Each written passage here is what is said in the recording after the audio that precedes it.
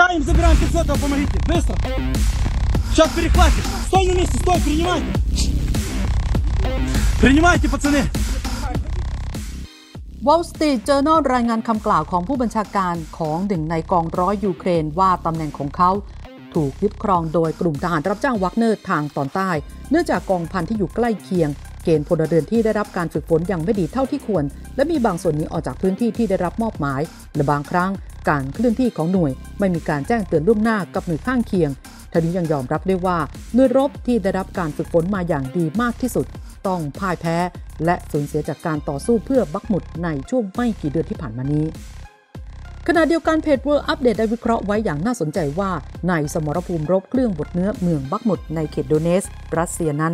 มีกองกำลังผสม 3 ฝ่ายคือ นักรบรับจ้างอาซอฟหัวรุนแรง ทหารเกณฑ์ยูเครน และทหารรับจ้างต่างชาติ ที่เคยมีสัดส่วนมากถึง 50%จากทั้งหมด หลักนิยมตำราทางทหารชาติตะวันตก ที่มีมายาวนานตั้งแต่ก่อนสงครามโลกครั้งที่หนึ่งคือ พื้นที่สำคัญกว่าทหาร มองทหารเป็นเบี้ยในกระดาน ยอมทุ่มกำลังเท่าไหร่เท่ากัน เพื่อรักษา หรือยึดพื้นที่ต้องการไว้ จึงคาดว่าในมือนี้ฝ่ายกองกำลังผสมทยอยส่งทหารเข้ามาตลอดหนึ่งปีสะสมราว 80,000 นาย ในจำนวนนี้เป็นปุ๋ยราว 30,000 นายถอนกำลังสลับออกไป 20,000 นาย คงเหลือในเมืองตอนนี้ไม่เกิน 30,000 นาย แต่หลักนิยมทางทหารรัสเซียสมัยใหม่ ทหารสำคัญกว่าพื้นที่ เพราะชีวิตทหารเอากลับคืนมาไม่ได้ แต่พื้นที่สามารถยึดเมื่อใดก็ได้ เมื่อฝ่ายตนได้เปรียบนำมาซึ่งกลศึกที่เรียกว่าทำลายและบั่นทอน โดยไม่ต้องยกทัพไปไหนไกลๆมาก พื้นที่เมืองบักหมุดเหมาะจะทำเป็นคิลลิ่งโซน ปิดล้อมแบบคีมปากอ้าหม้อต้ม ตั้งปืนใหญ่จรวดหลายลำกล้องไว้โดยรอบวงล้อมพื้นที่ แล้วระดมยิงเข้าไปทั้งวันทั้งคืน เพราะรู้จุดอ่อนของเสนาธิการทหารชาติตะวันตกดีว่า จะสั่งไม่ให้ภายในถอนกำลัง แต่ส่งทหารมาเติมในหม้อต้มอยู่เรื่อยๆ สาเหตุนี้เองจึงทำให้ทหารฝ่ายกองกำลังผสมเป็นปุ๋ยและบาดเจ็บสูงมากจนผิดปกติกว่าสมรภูมิอื่น อาวุธส่งเข้าไปเท่าไหร่ก็พังทมเท่าไหร่ก็ไม่เต็ม กว่าจะรู้ตัวว่าติดกับดักรัสเซียก็สายไปเสียแล้ว ในพื้นที่เขตโดเนส รัสเซีย นักรบวักเนอร์ราวสี่หมื่นนายเป็นหัวหมู่ทะลวงฟันแถวแรก ส่วนแถวที่ 2 จะเป็นนักรบท้องถิ่นอดีตชาวยูเครน แถวที่ 3 หรือพื้นที่ยากจะใช้หน่วยนาวิกโยธินและผลร่ม เจาะทำลายเป็นแห่งๆไป ในพื้นที่เขตลูฮานแถวแรกเป็นนักรบเฉเช่น ที่ทำผลงานดีมาตลอดแต่แรก ตอนนี้ก็รุกคืบเข้าแคว้นคาคิฟไปไกลมากแล้ว แต่ข่าวจะเงียบหน่อย แถวที่ 2 และ 3 ก็จัดกำลังคล้ายโดเนส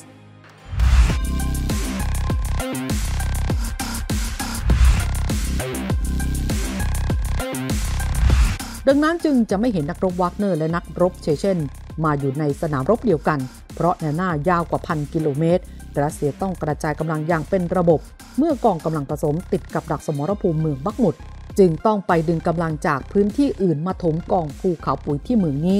ช่วงนี้ทหารรับจ้างต่างชาติชุดใหม่ เข็ดขยาดแทบไม่มีใครกล้าเข้าไปในหม้อต้มเมืองนี้ฝ่ายรัสเซียก็ไม่รีบบีบให้ฝ่ายตรงข้ามจนตรอก แต่ปิดล้อมท้าทายทางสื่อ กดดันไปตามธรรมชาติ ระเบิดสะพานข้ามแม่น้ำขนาดเล็กโดยรอบเมือง ตัดเสบียงอาหารน้ำดื่มเวชภัณฑ์ บั่นทอนให้อ่อนแอลงไปเรื่อยๆ เมื่อปิดล้อมเมืองนี้แล้ว บรรดานักรบวากเนอร์ก็เปิดคอนเสิร์ตเล่นดนตรีเยาะเย้ยบนดาดฟ้าอาคารกลางเมือง และประธานวากเนอร์กรุ๊ปแถลงยั่วยุท้าทายผู้นำยูเครนเหมือนเคย ถ้าภายนอกไม่ช่วยกองกำลังผสมแหกวงล้อมเมืองบัคมุตจะโดนฝ่ายรัสเซียทำลายทิ้งจำนวนมาก และจะมีบางส่วนยอมแพ้ เพราะขาดเสบียงและกระสุน แต่ถ้าแหกวงล้อมก็จะต้องแตกเป็นกลุ่มเล็กๆ และถูกรัสเซียดักทำลายทิ้ง รวมถึงพวกที่จะมาช่วยจากภายนอกด้วย นั่นหมายถึงกองกำลังผสมจะกลายเป็นปุ๋ยอีกจำนวนมาก ขณะนี้ทหารกองกำลังผสมที่แตกทัพยังพอเหลือรอดทนไม่ไหวแล้ว ไม่ฟังคำสั่งทยอยเดินเท้าหนีออกจากเมืองผ่านทุ่งโล่งโดยไร้ยานพาหนะเป็นกลุ่มเล็กๆ ไม่เกิน 10 นาย หมดสภาพจะสู้รบ ประมาณ 12,000 นาย การแตกทัพเดินหนีออกเป็นกลุ่มเล็กไร้ที่กำบัง และไม่ชูธงขาวแบบนี้อันตรายสูงมาก เพราะไม่ถือว่ายอมจำนนย่อมจะถูกโดรนสอดแนมมองเห็น และสไนเปอร์รัสเซียที่ปิดล้อมเป่าทิ้ง เฝ้าทุ่งโล่งอย่างง่ายดายสรุปฝ่ายกองกำลังผสมที่ติดในวงล้อมนักรบวากเนอร์ ไม่ควรคิดจะสู้ แต่ควรยกธงขาวยอมแพ้ดีที่สุด ไม่เช่นนั้นตอนจบของสมรภูมิเครื่องบดเนื้อเมืองบัคมุตนี้ กองปุ๋ยจะมากกว่าสมรภูมิเมืองมาริอูโปลเป็น 10 เท่าแน่นอน ไม่พลาดข่าวสำคัญระดับท็อปได้ง่าย ๆ ทุกที่ทุกเวลากับแอปพลิเคชัน Top News รับการแจ้งเตือนข่าวสารใหม่แชทคุยหน้าไลฟ์ได้ ดาวน์โหลดได้แล้ววันนี้ทั้ง App Store และ Play Store